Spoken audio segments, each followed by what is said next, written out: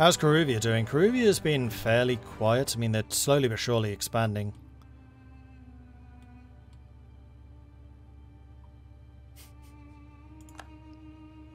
He cannot handle it at all.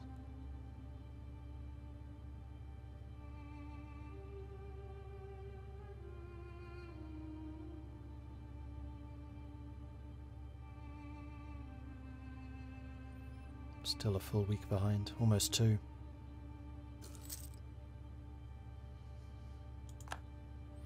I wish I could see what was said in the interim, but I missed it unfortunately. Is Frozen Moor growing dangerously fast? Yes, but Frozen Moor is currently under attack by Bjarnrik. Bjarnrik does have a pretty sizable army, and there is a battle going on up here at the moment, which Bjarnrik is about to lose to Frozen Moor. Couple of territories occupied, including the capital, though. But Frozen Moor recruiting a couple more troops in the uh, background there. Frozen Moor with double the manpower that Bjarnrik has, but Bjarnrik is doing pretty well for money. Uh, so is Frozen Moor. Frozen Moor, no loans and actually making money at the moment.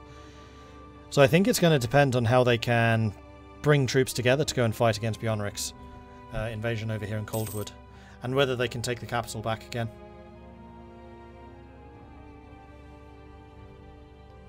Why did I stop playing and start commentating? Because uh, I couldn't make the first session last week and they asked me to commentate. like, I do enjoy Anbennar, but I find it's much easier to interact with chat if I'm not actually playing, because then I just go to, like, full focus mode. This way, at least, I can be, like, taking questions and stuff from you guys, while also talking about what is happening in the game itself. I just find it works so much better for multiplayer. I like multiplayer. I like commentating probably more. It's much less stressful too.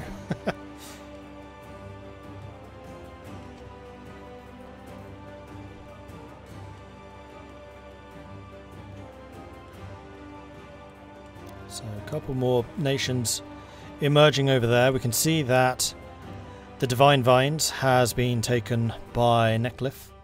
I do kind of wonder where Necklif's going to go after this. Meanwhile, we can see that there is a large group of mixed separatists in West Verton. And in fact, East Verton has been taken. Oh no, this is all Nurtaf, never mind. That's Eberthil. So it looks like they did manage to win the war against Mix. Now wondering if there's Warhammer mod for E4. Don't know. Have I played a game in West Ellentir or not India yet? No. The closest I've come to West Ellentir was playing Azusa Mexia, where I did fight against these guys. Hey, Republic of Play! Thank you very much for the raid. Welcome to the stream. Hello, hello, hello. How are you guys doing? What were you just playing?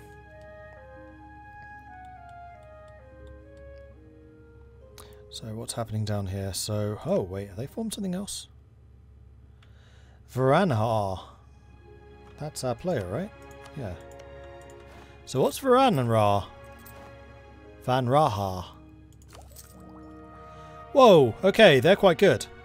Morale of armies plus 20%, land leader shock plus 1, yearly army tradition decay minus 1, shock damage plus 20, infantry combat plus 15, monarch military skill plus 1, infantry cost minus 10, national manpower plus 15, harsh treatment minus 20, fire damage received minus 10. I think we've just found out Prussia. This definitely feels like a shock Prussia. No, you know what? This is Sweden. Van Rahari is uh, Sweden, because apparently the Swedes liked their uh, bayonet charges. Or maybe a Napoleonic France. They also did common column formation charges with artillery support. Nepal. Could be Nepal too. That's true. Yeah, this is probably Nepal. You know, the um, the Prussia of uh, the Indian Prussia. Since this is not India. Yeah, that's true. Okay, yeah, we've we found our Nepal player. Now I see why they chose that one so they could form that nation. That makes sense. Anyway, for those of you just joining us, hello and welcome. My name is Mordred Viking, and this is a multiplayer game of Europa Universalis 4 with the Anbennar mod. And what Anbennar does is it basically turns EU4, which is usually a historical game, into a fantasy game where there are all kinds of different nations. So, for example, we have got up here the gnomish hierarchy, which are gnomes. We've got humans. We've got elves. We've got half elves. We've got dwarves over here in the mountains. We've got centaurs. Uh, here, winged blades are centaurs. Magrama are uh, ogres. We've got the command, which are hobgoblins. We've got Nolokaz, which are gnolls. We've got um, harpies, currently taken out by the wood elves. Um, loads of different uh, factions and different nations. They all play in very different ways. So, like the small country are halflings. Most of their armies are going to be down to mercenaries. Their mercenaries are very effective, while the halfling military itself is kind of rubbish. Um, it's it's really well done. It's really really well done. So if you like Europa Universalis 4, if you want to try a fantasy EU4, I heartily recommend Anbennar. It is, it's really good.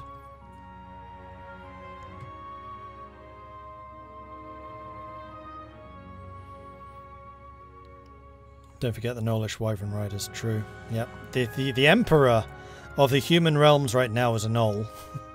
because of course it is.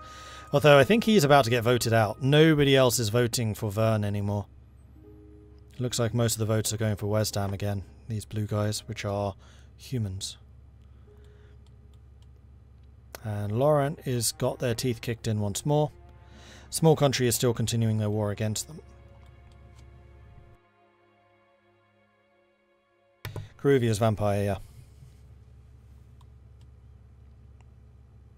Karuvia is basically um, Sylvania in Warhammer. Vampire counts. Humans ruled by vampires. And we got some elves over here, and they're like a big part of the story is this giant crater is because the elves blew themselves up. And then they fled their blown up territory and went to the uh, the human territories. And then over here in the Dwarven realm, so if we actually switch to the terrain overview, we can see that this is actually mountains, and that's where the dwarves live. And that's represented in the game by these tunnels. Um, orcs and goblins rose up out of the shadows, wiped out the majority of the dwarven territories. In fact, Virkor Gulen's back. Nice. And the orcs and goblins then rampaged across the human territories, which was all of this bit. Actually, it's more like this bit wiped all of that stuff out, then the humans counterattacked with a bunch of advan- adventuring companies, which is where this game starts. So the nations like Adenica and Elnor and the Order of the Black Scepter, these are all the human adventuring bands coming back in and retaking it. Then once the orcs had left the mountains, the dwarves started coming back, the holds which survived, like Ovdal Kanzad over here, started to reclaim the tunnels, Virkor Gulen, another one, and there are still some remnant orcs and goblins like these guys over here. These are the Rail Skulkers, those are goblins. Um, this was settled by orcs. Then you got uh, dwarven adventurers coming from the dwarven holds, which were in the human realms, basically trying to take back the tunnels, which is what these guys are, Kukdir and the Silverforge expedition. Um, so there, there's a lot of back and forth of uh, different nations and the rise and fall of different nations. It it does a really good job of like modeling all of that. It's cool. And yes, it's inspired by Dungeons and Dragons. Not Warhammer. It's definitely D&D.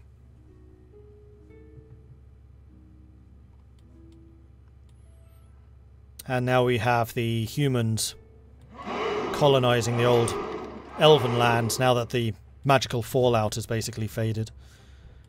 And soon we're going to have the Reformation. It still hasn't happened. But it's 1509 and I strongly suspect it's going to happen pretty soon. Is there no reform? No, there isn't. Hmm, that's unity. So there is no reform progress yet, but definitely expecting the, the Reformation to, to hit fairly soon. We're still in the age of the green tide. Soon we'll be switching to the uh, unraveling, which will be the, the Reformation.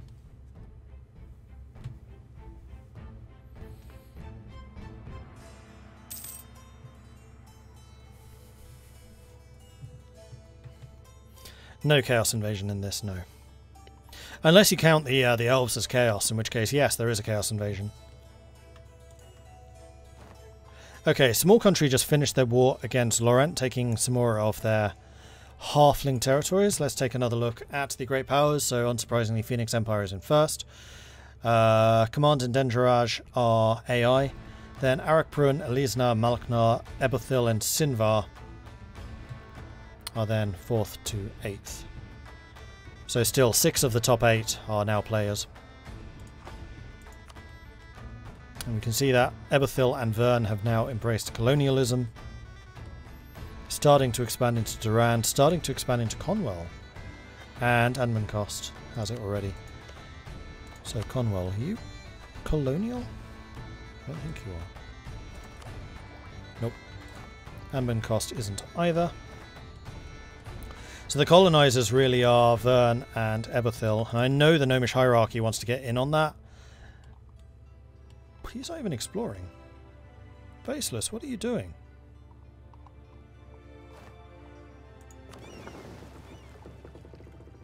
Elbin Bobman's just sitting here in port at the moment. Might want to be doing something with that, Faceless. Uh, Bjarnrik still expanding. Looks like they won the war against Frozen Moor. And in fact, Vrorenberg, which was the Frozen Moor capital, has just been taken by Bjarnrik. So the Vikings in the north are starting to stir. Meanwhile, Not India is once again at war with the Hobgoblins. Punitive war, so this is another show superiority. And these fights are really big. Like, we see like 20,000, 30,000 fighting in Anbennar. Like, oh, that's a big fight. This one has 168,000 infantry against 102. 65,000 cavalry against 17,000. 43,000 artillery against 18,000. That's a big war. There's basically all of these guys united against these guys. Neckcliff's still in the game. Yeah, they are. Actually, uh, I want to take another quick look at Neckcliff to see if they've sneakily snuck off somewhere else. They're seriously doing some colonization now. Yes, you've gone south. Good. See, I think this is a lot smarter because there's nobody else trying to colonize down here, so you can at least get yourself established, whereas over here you're just asking for trouble because these guys are already there as well. And also in the Isles, you're going to run up to trouble against them. I think going, trying to get as much of this as possible is much, much wiser. Go on, Neckcliff, you can get back into this game. It might be looking hopeless. Your entire homeland has been taken by the perfidious Emperor, the Gnollish Emperor. I'm just going to keep on saying that. Clearly the betrayer of mankind.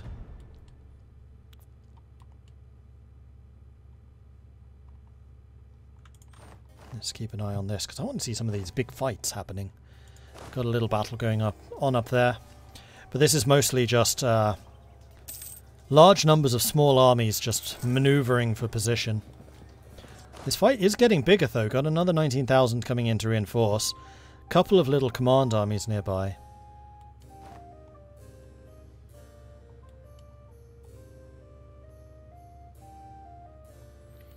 Neckcliff is human. Pretty sure just pure human. Can check. Human. Human military, human administration.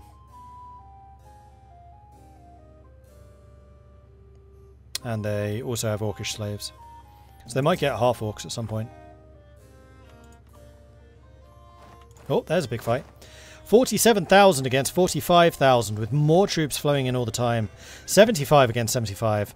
100% uh, morale on both sides. No, sorry, 100% discipline on both sides. The command side has got more morale and also more military tactics. Oh no, sorry. The Indian side has more tactics and morale. And it looks like the command is about to be beaten.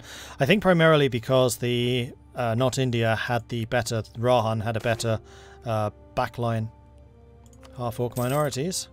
So it looks like the command is also getting half orcs together with their goblins and hobgoblins.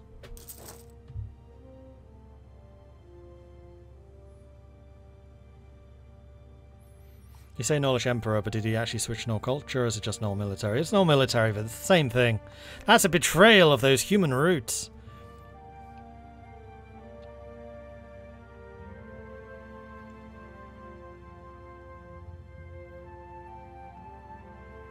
I think it's a brilliant theme to place the command militaristic hobgoblin to Japanese theme between the dwarves and the Indian humans and tiger people. I agree. I think it's really cool.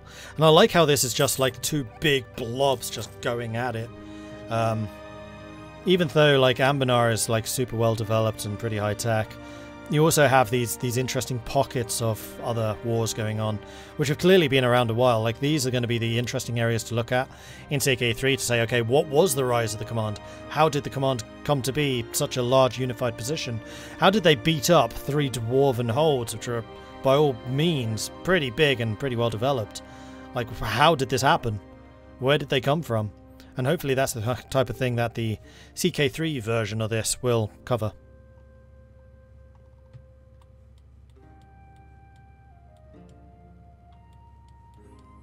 What's the Lake Federation? Lake Federation's Japan, basically. Facing off against the Centaurs and the Ogres.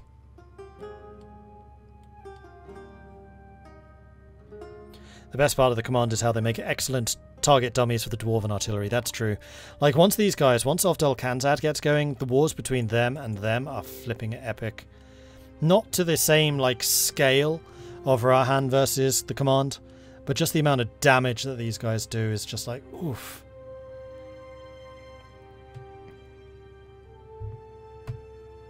Is there a China parallel? There is this, which is going to be fake China, but it's not in yet. So all of these areas which are empty, and you can see you have a 000 in terms of development, they're uncolonizable. This is just like terrain set aside for uh, future development. It's kind of an interesting way of doing it, because you can kind of see what's yet to come. So you got all of this, which is not China. You have all of this, which is not Africa. And I think that not Africa is probably going to make the biggest difference because that's going to bring in the the gnolls, and it's also going to bring in like alternate areas where you can expand and uh, colonize to. And then you have not Australia over here.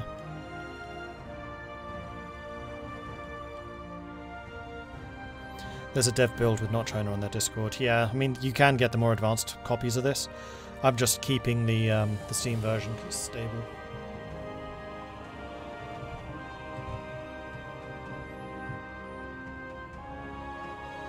Anyway, we should have about five minutes of this to go. So during that time, I will say, if you have enjoyed this and you want to see or participate in more multiplayer stuff, you should head over to our Discord where there is multiplayer content being organised constantly. My modernisers have done an excellent job with arranging the, the multiplayer stuff to come in the future. We have a Kaiserreich multiplayer game coming up. We've got this one, which you can probably still join. Um, just be aware that we're now into the second session, so things are already getting kind of divvied up between the different players. Um, and there was also a Hearts of Iron 4 vanilla game on Friday, and I'm sure there'll be more of those being arranged into the future. So if you head over to our Discord, which you can find to this link here, then you yourself can get involved with some of this multiplayer content and with the community at large. They're a very cool bunch. It's always a pleasure having some new people joining us too. What are we doing in the next stream? The next stream is going to be World Ablaze, which was the Hearts of Iron 4 community. So Last weekend and the weekend before, there was a Hearts of Iron 4 multiplayer tournament, and the victors of that was the Worlds Blaze community. I've never played Worlds Blaze, and it definitely piqued my interest, and it looks really cool. It looks really well fleshed out and developed, so I'm I'm keen to give it a shot and see what it's all about. Kind of looks like a bit of a less intense Black Ice, and if it is a less intense Black Ice, I have a feeling I'm going to really like it. So um, I'm very curious to see what they've done with it exactly. I know very little about it.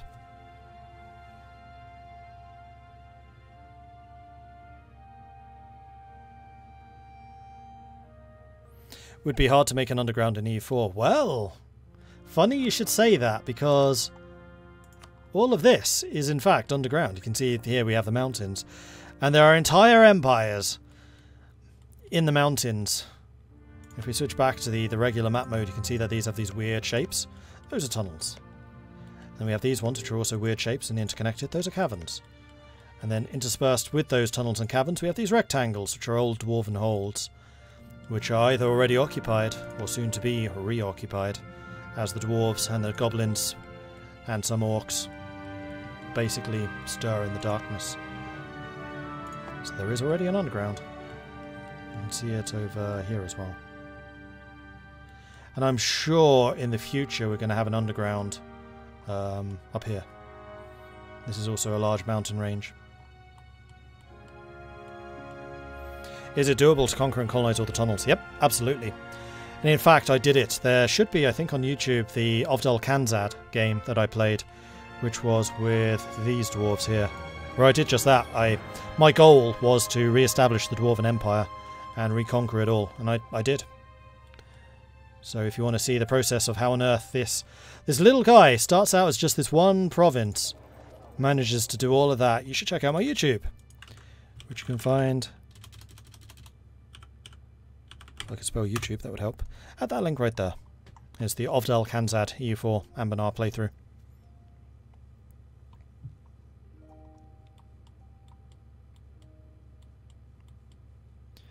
So as we get to the end of this, Phoenix Empire is still very much in first place in the command. Ebethil is now third, having taken the place of Drenaraj, Elisna, Arakpun, Drenaraj, Malaknor, and then Sinvar. But it does look like the command is getting absolutely buffeted by Not India. Not India actually making it almost to the mountains from which the command originated.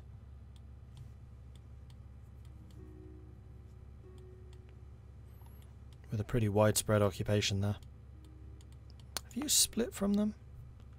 Is that how you've established yourselves? No, you're still a Centapi. Centapti. How did you say that? Synapti. Oh, come on, still got some pretty hefty forces back here in their fortifications, and of course, once the Indians Sorry, once Haraf gets to these regions, then they'll be fighting in the tunnels with all the, the negatives that that encompasses. Minus 2 attack, minus 1 attack. Once they get to the holds, that's also a minus 2. It's a very nice defensive area to fall back to. But losing all of this is going to be losing a hefty amount of development. But I have found in the past that these wars are very much back and forth, back and forth, back and forth.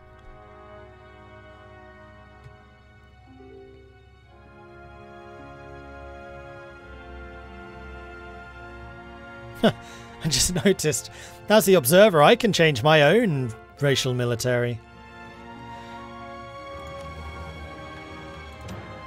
Ah, oh, it doesn't actually do anything, though. I want my dwarven military, damn it, even if I am the observer. Omniscient dwarves. Oh, I can see it now. Terrifying. Terrifyingly awesome. Omniscient dwarves. Alright, so Neckliffe is slowly but surely establishing themselves, and Great Bay is now their capital. So they have properly established themselves down here. Unfortunately, it's all going to be a horrible tropical jungle to colonize, which is going to be difficult. They probably want to move over here and grab that. But having just the island... And in fact, if this gets invaded, then all of their enemies are going to have the minus one as well. So there we go.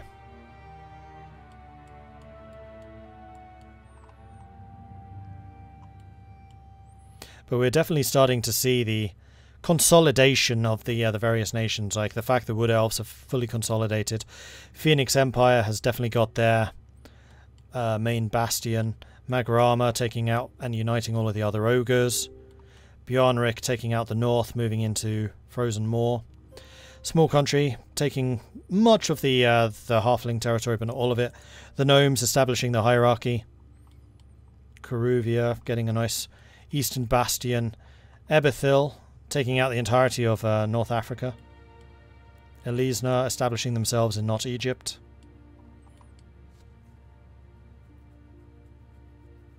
What an extremely fitting name for the capital of Neckliffe, the Admiralty tag. That's true, yeah, Great Bay. You're not wrong. Do they actually have that yet? No. They need the Neckliffe Admiralty which is a decision? How do they get that?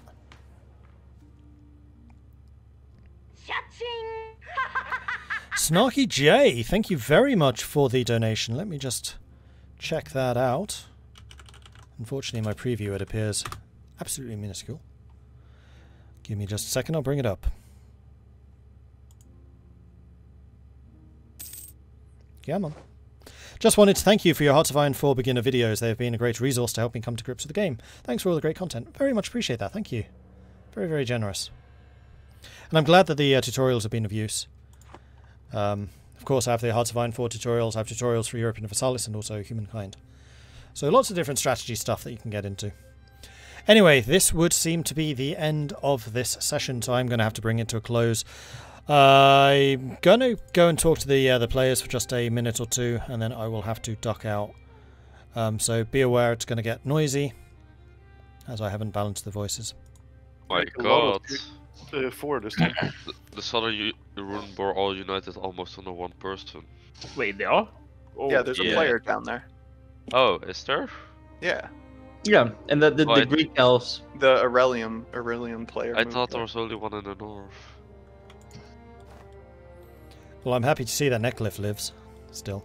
No, you should. Barely. Uh, which I next? Blame my you for this, Mordred. You, you really you. shouldn't have goaded into him into doing that because uh, the I poor, mean, I, poor guy. think I wanted to do it before, but I was like, uh, and then I was like, yeah. Fuck it, And, let's um, go. Well, Wesdam's Oh. not exactly faring well, so I think he may have do- dodged a bullet right there. But uh, Wesdam's also in line to become, you know, greater. Dead. Oh. Greater. Ow. Become stronger in death than you were in life. That's what a necromancer would say. Yeah, true. Well, at least uh, West isn't being, you know, chased by a certain player who really wants to see him dead. Yeah, Ebethil is hunting him down. I'm surprised I'm still alive. Yeah, so am I. Dogfighter, you you fought one hell of a fight. I was enjoying that. It's a great little story there. At the last battle, um, I could only win because the Tech 6 Goblin Nation wanted a white peace, a separate white peace. And after that, I took all of the shock damage bonus missions and teched up, and I smashed their army back into their land. Yeah, I Well, saw that going it. from the, the verge of defeat to like a glorious victory in which he took a bunch of stuff. That that was cool was to watch. very satisfying full annexing them. I Mm. bet. I bet, yeah. and you were really well positioned over there. The the struggle for the uh, the, uh, the the mountains is going to be fascinating. In fact, there are a couple of areas which are very much friction points that are going to be really really fun to see what happens. Did you Yeah, see what I see happened between popping uh It was fun playing Between single player. Abner Hey, Clearwater finally did something helpful for me. I did. got a hold of Mithril so I can steal it from them. how I beat the living shit out of them and then allied them afterwards? oh, I didn't notice you allied. That's funny. Yeah, I saw you went after Anbenland, and I saw Yeah. that Adenica kept all of his forces right at the back of the country. I thought, okay, you guys have come to an agreement. The next thing I saw was you're occupying his capital. Yeah, I just walk in, I he's was like, just okay, take the money. Take it. Take it. Take everything you want, just leave me alone. I call Yeah. that So- good war. What Yeah. was your opinion of Mind Boy? What happened to him? I think it's very unfortunate, and I very much applaud the fact that Mind Boy is still fighting on. Shows good character. I'm looking forward to the the, the great return. Netcliffe's hordes ravishing uh, Vern and taking Vern out and getting their adequate revenge. that would be fun. hmm Don't see it happening, but it would be fun. I, I've never seen Mind Boy actually uh, return to the mainland after running to the colonies.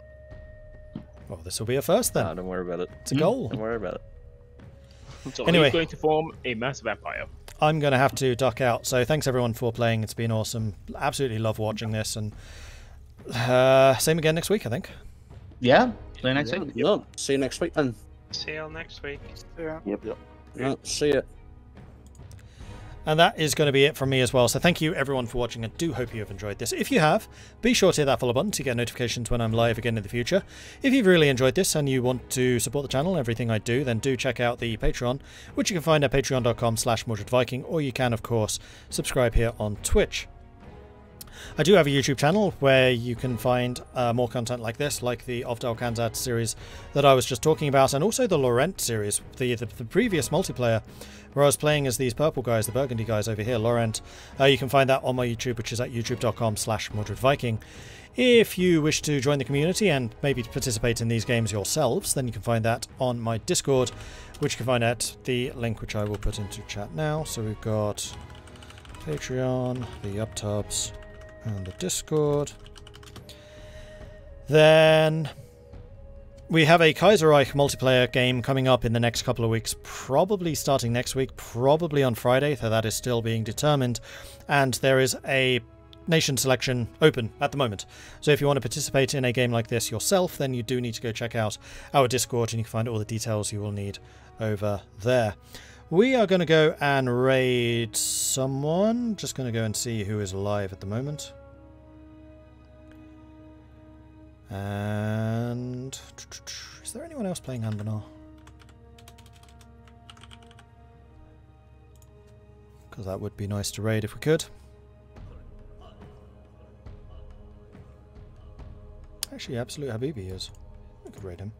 He's also doing multiplayer. That would actually seem to be perfect.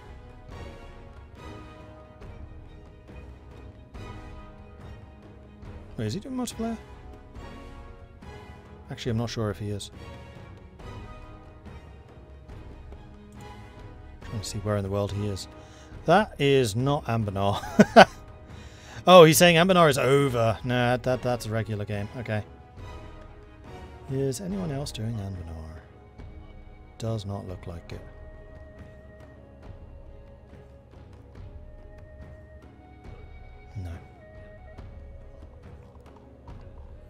Hey I was looking for other people to uh, raid who are playing Am uh, Anbennar, but nobody seems to be. So instead, we're going to go and raid Templin, because Templin is awesome and he is playing some Humankind. So let's head on over and say hello. I'm surprised he's playing Humankind, not Age of Empires. So head on over there, say hello from Mordred Viking. I'd love to see his chat absolutely lit up by the Viking raid, which you can do by copying and pasting Viking raid, which will be just like this. Or if you're a subscriber, you can bring in the long ships, which you can bring in like this.